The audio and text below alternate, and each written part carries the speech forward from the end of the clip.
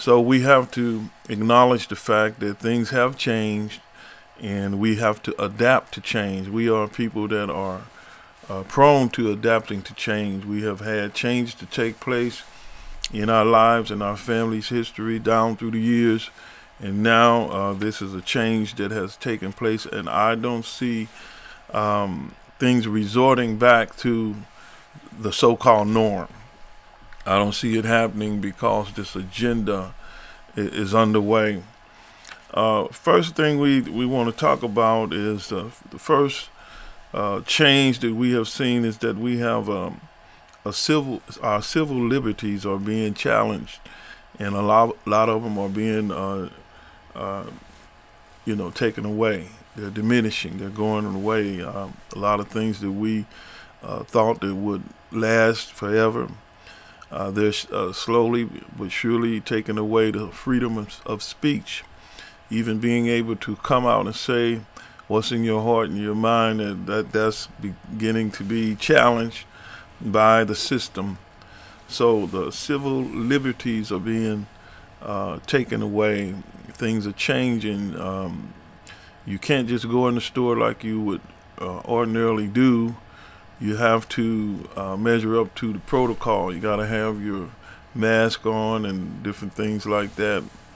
And uh, now they have placed an individual at the door of most facilities in order to make sure that nobody comes in without having um, the, the, the measurements of the mask on your face, different things like that. The next things that um, uh, we want to look back and face up to is that the economics have changed. Our economy has changed. Uh, we're going to look at a scripture that says, And God spake on this wise, that his seed should sojourn in a strange land, and that they should bring them into bondage and entreat them evil 400 years, 400 years. So we see these things are um, taking place in our life and in the, in the lives to come. My prayer goes out to uh, my children, my grandchildren. You know, uh, most of us baby boomers are, are, reaching a certain age of maturity. Uh, you know, we got a different age group now. Uh, the baby boomers are not the old old you know the, the old people in our day when we was young that we considered old we're not like that uh, we carry uh, age differently from the uh, former uh, our, our, predecessors. We we uh, carry it diff differently. All right the economy is being destroyed right before our face the economy is being destroyed. Um, they have to implement certain uh, stimulus packages and relief packages to keep it alive. But these um, uh, relief uh, aids and funds are really uh, going to cause more detriment down the road because this money has has got to be accounted for. Somebody's going to have to uh, pay for this money that's being print out of thin air.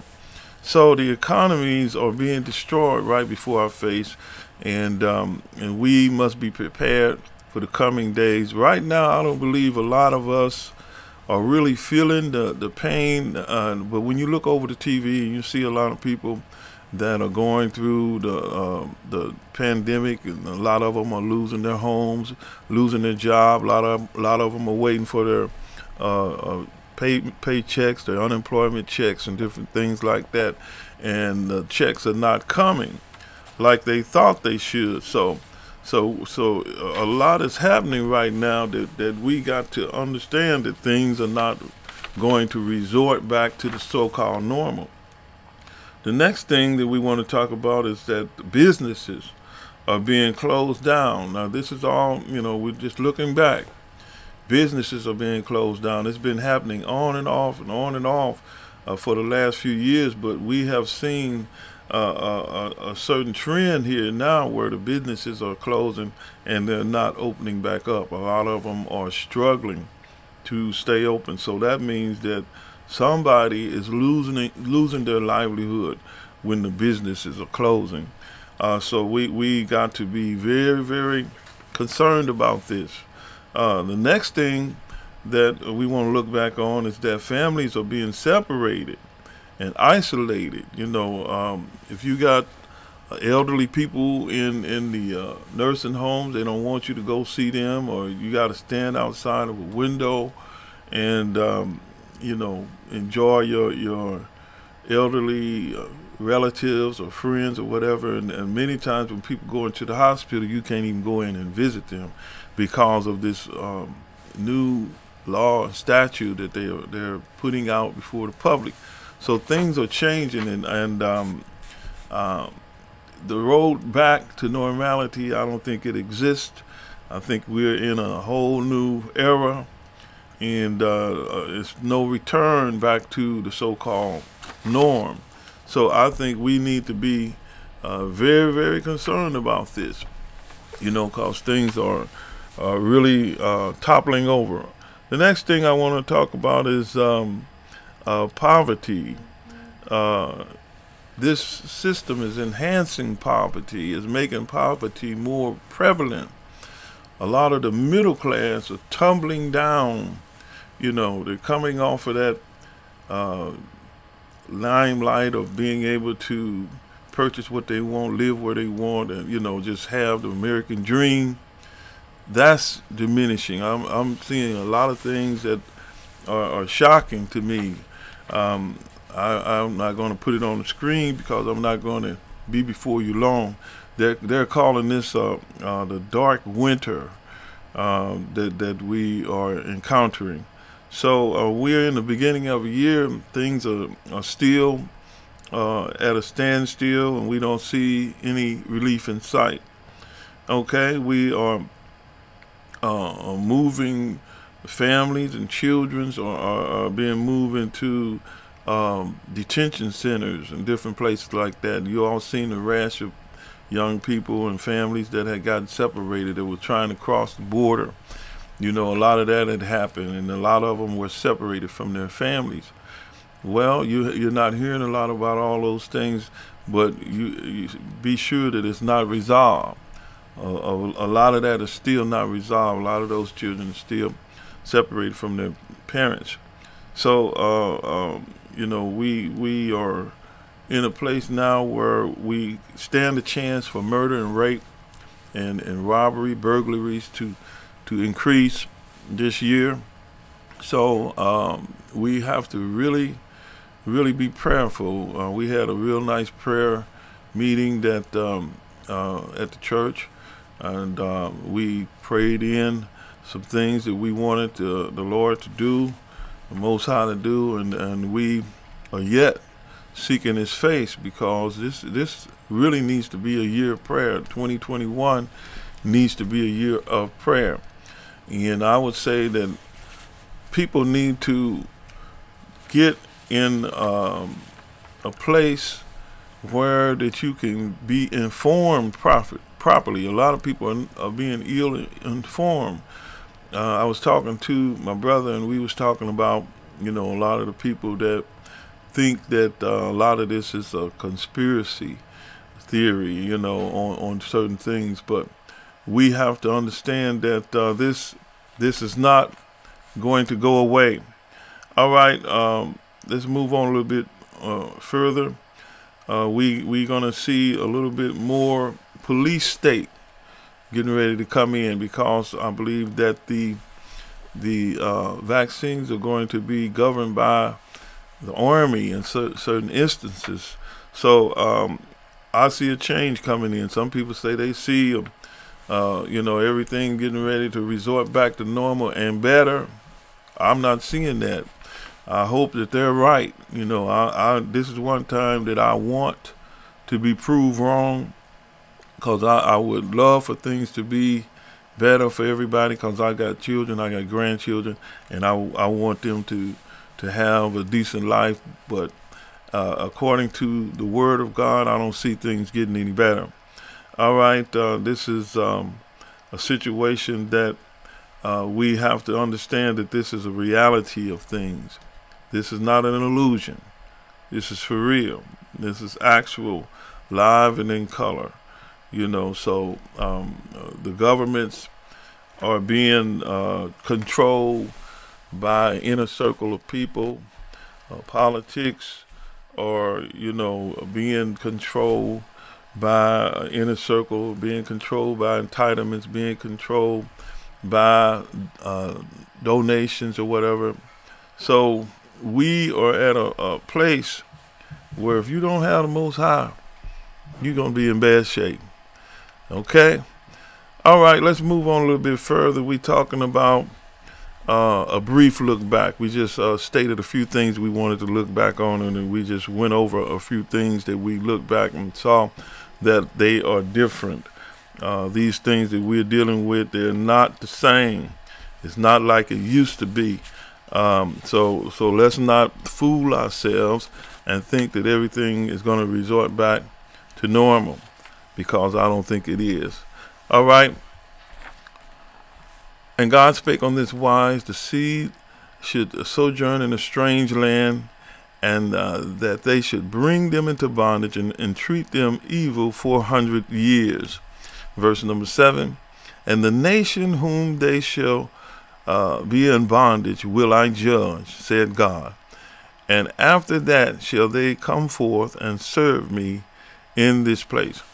So that that's what I'm looking for to get past get past this situation that we're in so that we can go forth and serve the most high. That's what I'm looking for. You know, I'm not uh, enjoying the trauma, seeing people traumatized I'm not enjoying that, um, but I do have peace in the situation because I understand through the Word that uh, He have already told us what would transpire and what would happen. So we're going to look at the, the scripture a little bit and see exactly, you know, what uh, the scripture have to say in the book, book of Acts, chapter number 7. Uh, then said the high priest, Are these things so? Uh, then go on to the next verse. And he said, Men, brethren, and fathers, hearken. The glory of, of the God of glory appeared unto our father Abraham, and he was in Mesopotamia before he dwelt in Charran. And said unto him, Get thee out of thy country and from thy kindred, and come into the land which I shall show you. So God spoke to Abraham, and you all know that Abraham was the father of the blessings of all nations. And um, we are the descendants of Abraham. As a matter of fact, we are direct descendants of Abraham. We were not just blessed from the the total blessings of the whole nation, the whole world is blessed by, because of him. Spirituality kind of came into uh, the world through Abraham because he's the father of blessings. Okay, let's move on a little bit further. Uh, verse number four. Then came he out of the land of the Chaldeans and dwelt in Charran, and from thence, when his father was dead, he removed into this land wherein ye now dwell. And he gave him none inheritance in it, no, not so much as to set his foot on. Yet he promised that he would give it to him for a possession and to his seed after him when as yet he had no child. So right now we we at a, a pinnacle. Sometimes we feel like, man, this thing don't look like it's gonna happen. We've been going through all this trouble and all this pain for so long. I don't think that, that we're gonna come out of it. You know, that's what a lot of people have have come to think, and uh, a lot of people they are ready to just succumb and give in to whatever uh, that is offered you uh, to to release you back into um, normality. So they're ready to do, whatever you know, and and it's designed that way. It's designed that way. But I'm uh, a believer that we must hold fast and it to the end. All right. Verse number six, and God spake on this wise that his seed would sojourn in a strange land, and that they should bring them into bondage and entreat them evil four hundred years. Now, a lot of people, you know, they read the scripture over there. Uh, it, tells us that uh, Abraham sojourned, or the children of Israel sojourned for 430 years, but they fail to realize that that's a combination of the time that they dwelt in Canaan and Mizraim or, uh, or Egypt. And they didn't go into bondage until after uh, uh, Jacob came down into that land. you know, when Joseph called them into that land, and they didn't, they weren't in bondage uh, during that time. So you you don't have a 400 year span of time to be able to justify that scripture. At most, it probably would come out to about 215 years. But as we move forward, we see that um, uh, we qualify for that time. Because over in um, this country, from 1619 all the way up to uh, 2019, uh, we have uh, experienced trouble and trials and tribulations and, and have been entreated evil for that entire time. All right? Let's continue on. Verse 7 says, And the nation whom they shall be in bondage will I judge, said God. And after that shall they come forth and serve me in this place. So uh, something has to happen. Uh, the nation that have done the atrocities to the people of the Most High are going to have to uh, pay for all what they have done. And they're going to have to give an account to the Most High for the atrocities that they have done against the people of, of the Most High. All right, let's move on a little bit further. In the book of Acts, the next verse, verse number 8. And he gave him the covenant of circumcision and so Abraham begot Isaac and circumcised him the eighth day. And Isaac begot Jacob, and Jacob begot the 12 patriarchs. So that's uh, a little brief history that is given. You know, I often speak of the, the, the fact that circumcision was given to to us first. And we see it here in this scripture. And it was stated in the scripture that he gave uh, the circumcision to Abraham and they did a study on the eighth day that the body was uh, capable of healing itself on the eighth day uh, more so than before that time. So that's why the Lord told him the eighth day because your body is making enough uh, properties for it to heal uh, itself from that circumcision. So we see there that uh, uh, the eighth day, and then Isaac begot Jacob, and then Jacob begot the 12 patriarchs. So Jacob's name was changed to Israel, and there we get the, through his 12 sons are the 12 tribes of Israel, which is considered as the patriarchs. All right, let's continue on. Verse number 9 says, And the patriarchs moved uh, with envy, sold Joseph into Egypt, but God was with him. All right? And delivered him out of his affliction and gave him favor and wisdom in the sight of Pharaoh, the king of Egypt. And he made him governor over Egypt and all his house. So we see that uh, uh, Joseph excelled to prominence. So this cannot be considered as bondage during this time of Joseph because he considered uh, uh, as a, uh, the, the right hand man to the Pharaoh and he was given keys to the storehouse and and uh, he was almost like a monarch without the title. Uh, you know, he was a prime minister, so to speak. All right, verse number 11. Now there came a dearth over all the land of Egypt and, and Canaan and uh, Canaan and great affliction, and our fathers found no substance. So um, we see here now things beginning to change. So all down through history, people have to go through changes. Like we're going through a change right now. Uh, but this change that we're going through is, is going to be like none other. No other history or no other time period is going to match what we're going to have to go through. Uh, so um, I believe that we we must position ourselves to be able to handle what's getting ready to come. We got to recondition our mind, recondition our way of thinking because uh, we have been made to become lazy uh, as far as being able to go through what uh, the Most High is putting up on us. We we don't want to deal with it. We don't want to go through it. We we want to uh, continue to uh, act like everything is supposed to be like it was. But we got to be ready for change. All right. Verse number 12. But when Jacob heard that there was corn in Egypt, he sent out uh, our fathers first. And the second time, Jacob, Joseph uh, was made known to his brethren, and Joseph's kindred was made known unto Pharaoh. So we see here that this is an important scripture because if he's down in Egypt and his uh, brethren came down and uh, they couldn't even recognize him in the beginning until Joseph made it known that these are my brethren.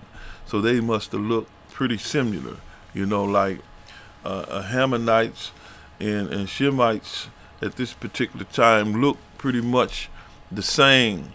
Uh, and when we look at it, all men at this time came from uh, uh, Noah, were offspring from Noah. All right, let's continue on. Then sent Joseph and called his father Jacob to him, and all his kindred, threescore and fifteen souls. So Jacob went down to Egypt and died, he and our fathers. So we see that there's a trend going on that they're in this land and uh, the chastisement hasn't taken place. My point here is that I'm showing you where uh, the uh, affliction hasn't taken place yet. Uh, so the, the scripture said that after the death of Pharaoh, there, there rose a Pharaoh that knew not Joseph. Then it begins to mark the time when affliction was really placed upon uh, the children of Israel down there, and they petitioned the Most High to to uh, deliver them, and He delivered them and pulled them out of that land. So we're at a pinnacle time now to where we must recognize and notice uh, that our day is about to come. All right, let's continue. Acts number 16, 16th verse. And it reads, And there carried over to Shechem and laid the sepulchre that Abraham brought for a sum of money, and his sons of Emor and the father of Shechem. And when they, the time of promise drew nigh, which God had sworn to Abraham, the people grew uh, and multiplied in Egypt. And another king arose which knew not Joseph. See, that's what I was talking about, that another king arose that knew not Joseph.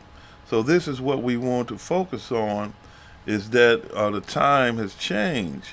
Uh, uh, now you got a king that's uh, not in the favor of the children of the Most High.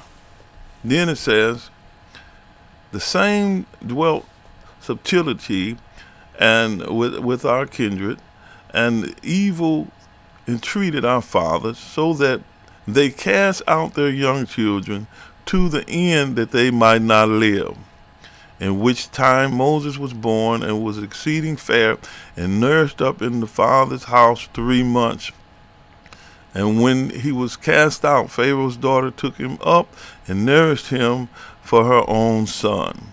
And Moses was learned in all the wisdom of the Egyptians, and was mighty in the words and in deed. And when he was full forty years old, it came unto his heart to visit his brethren, uh, the children of Israel. So we see a trend going on here. But I want to share something with you um, in in this particular Bible that I have here. We're going to deal with um, it's uh, the 400 years of slavery, and it gives you a little outline. it says Jamestown, Virginia, in the year 1611 is when, get that, is when America committed the greatest crime in world history. The kidnapping, rape, and brutal enslavement of Yah's chosen people scattered from our homeland after the destruction of Jerusalem in 70 AD. The Israelites were scattered throughout Africa. The Hamitic tribes were financed by the Europeans to catch and capture, capture Israelites for purpose of chattel slavery. Although millions of Hebrews were captured and then enslaved into the Caribbean and South America between 1525 and 1866, the first U.S. slave arrived in 1619. This was known as the transatlantic slave trade. So, so we have uh, history that uh, shows us that you know this thing happened and it was it's a legitimate 400 years. Let's let's read a little bit more of that okay? This heinous crime set in motion the clock of judgment. Uh, the clock would continue its ticking for 400 years to hide the evidence of their crime and change our Elohim, which is God, uh, uh, and beat our Hebrew language out of us and changed our names. So there's a statue that was built in memorial. All right, let's let's move on a little bit further, read a little bit more. And defiled us. And defiled us with their meats and practices to control us. Uh, they sold our Hebrew Israelite scriptures. Um, they stole our Hebrew Israelite scriptures and taught us Christianity, a per perverse distortion of the image of the word of Yah, and slave masters' religion taught us to hate ourselves and each other because Yah created us in his own image and uh, we eventually began to hate Yah. Meanwhile, the clock, the clock kept ticking. So we we have some information here, and uh, it's it's a a good thing that we do have some kind of restoration of the truth about what happened to us and the truth about what is happening right now. I went and got that information just to show you that there is a record, you know, but it has been distorted. Now, when when this uh, particular text told us that they taught us Christianity, they taught us a European version of Christianity, and they changed all of the uh, the portraits and the pictures, the pictures rather of of the uh, patriots uh, to depict their nationality, which was a terrible thing. So, uh, I like the way that this particular article starts off, it says that this was the most heinous crime in a, in all American history.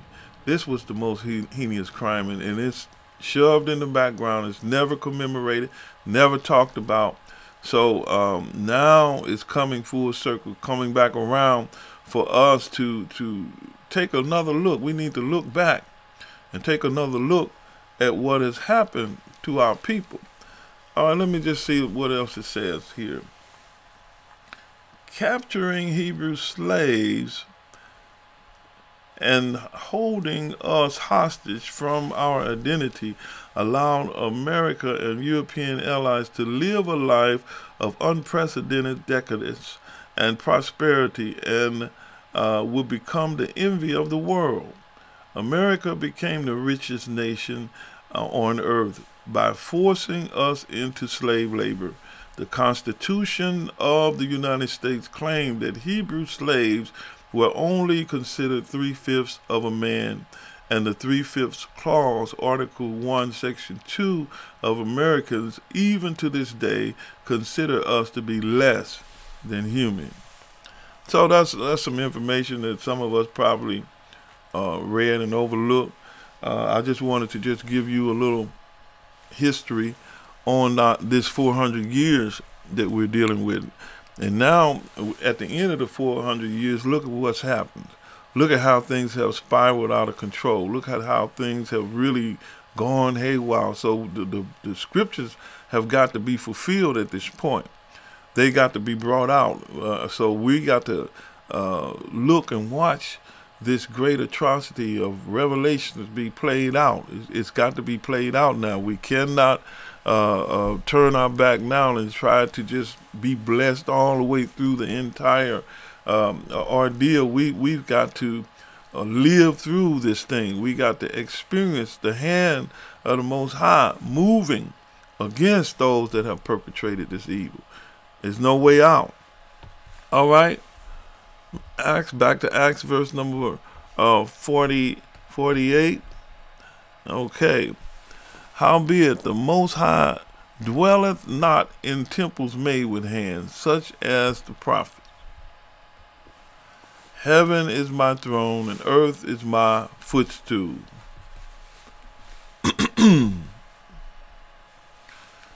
Heaven is my throne, and earth is my footstool. What house will ye build me, saith the Lord?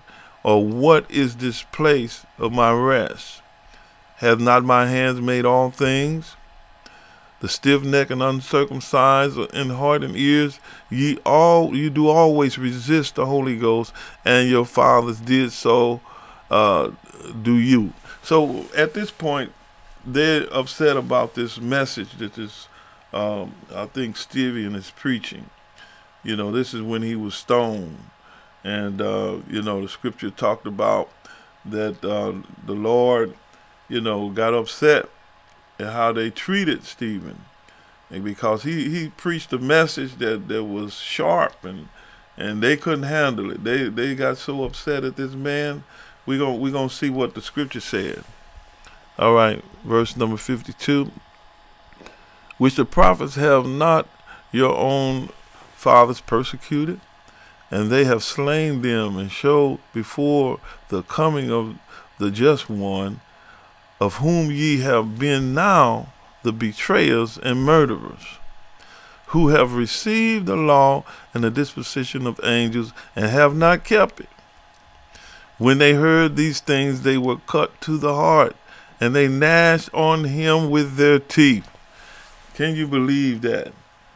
They began to bite this man. They began to attack this man with an unprecedented attack like animals. They, they, the animalistic nature came out of these people, and they began to attack this man. Let me read verse 54 again. When they heard these things, they were cut to their heart, and they gnashed on him with their teeth. But he, being full of the Holy Ghost, looked up steadfastly into heaven and saw the glory of God, and Jesus standing on the right hand of God and said, Behold, I see the heavens open, and the Son of Man standing on the right hand of God. In verse number 57, and they cried with a loud voice and stopped their ears and ran up on him with one accord. So we see that these people have a spirit that uh, you cannot contend with it. And this is the kind of spirit that we're going to have to deal with people. We're going to have to deal with the same spirit that attacked Stephen when he tried to bring forth the word of the Most High. We're going to have to deal with it. There's no way out of it. All right? And cast him out of the city and stoned him, and witnesses laid down their clothes at the young man's feet, whose name was Saul. So the people uh, that was there they they laid their coats by Saul, which is was converted to Paul. You know, he, he was there consenting at the death of Stephen and saying, get him, hit him, kill him. You know, and um, it was recorded that they laid their coats at Saul's feet as they began to slay this man. And they stoned Stephen calling upon God and saying, Lord Jesus, receive my spirit. And he kneeled down and cried with a loud voice, Lord, lay not this sin to their charge. And when he had said this, he fell asleep. So, my friend, we have a lot that we have to contend with, a lot that we have to realize and notice in the scripture. We're coming to this time again where people are going to be enraged with this uh, situation that's going on with the vaccine. If if it plays out in my mind like I'm thinking, you know, the scripture going to come into play where, uh, you know, everybody going to turn against each other and begin to be afraid of one another. Uh, you know, so uh, you got to pray and seek the face of the Most High uh, for the right decision to make in this uh, dilemma that we're in. But, you know, when all is said and done, I got peace. I got peace in my heart, peace in my mind, peace in my spirit. And that's the only place you're going to find peace. Peace is not going to be in this world. This world is going to be made to be brought to his knees until the Most High come in and, and change everything and knock this debauchery over. Uh, we're going to have to deal with it and have faith in the Most High. So let us stay together. Let us pray together. Let us encourage one another. Uh, like I say, I don't see things lightening up this year. Uh, and I hope it will. I hope it would for the sake of everybody, you know, to be uh, in harmony and peace. But according to the word, it says, evil men and seducers shall wax worse and worse. So, my friend, if you don't have uh, Yahawashi in your life, you don't have the Most High in your life, you need to be afraid. You need to be uh, uh, scared of what's getting ready to happen. But if you have him in your life, if you have the safety and the security that comes through his name and through his blood, you can relax and uh, uh, just brace yourself to, to prepare yourself to go through whatever is allowed to happen in this wicked world. That's all I have, my friend. I'm getting ready to sign off. Uh, wake up Hebrew, Bishop Coleman. Shalom.